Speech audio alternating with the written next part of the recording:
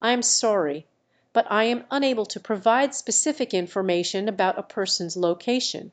It is important to respect privacy and not disclose personal details without consent.